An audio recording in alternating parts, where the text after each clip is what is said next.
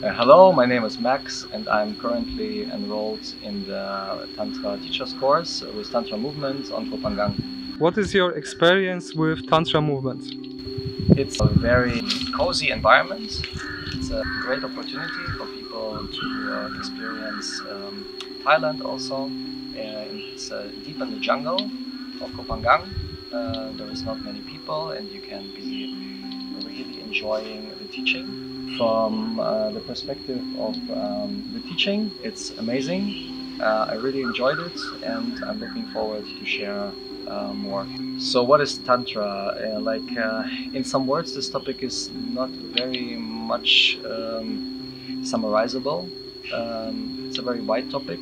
It's a very long tradition whereas you have the difference between Tantra and Neo-Tantra. Um, uh, Neo-Tantra is for me uh, something different than Tantra.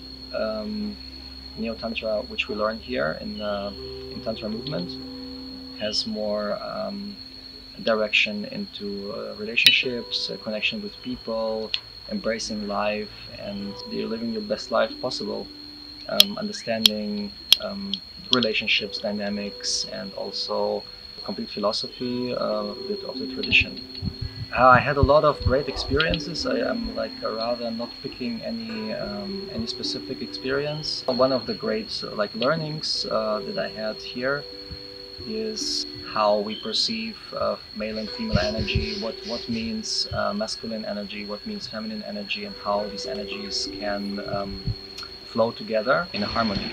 One of these things was very eye-opening to me, and I'm very happy about it. How is the teaching course? I experienced this course uh, very much alternative uh, to what I have uh, experienced in the past. We did and do still many uh, super exciting exercises every day in the topics of um, meditation, um, breath work, uh, massage.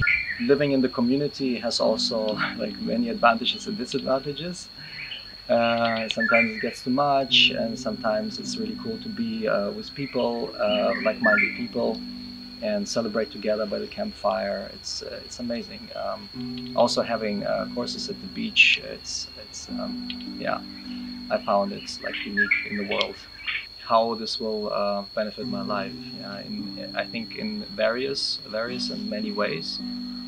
Mm, in terms of like how I see myself um, as part of something bigger than myself, how I see other people as um, something also bigger than themselves, and um, I have some new uh, views about um, relationships and dynamics in relationships.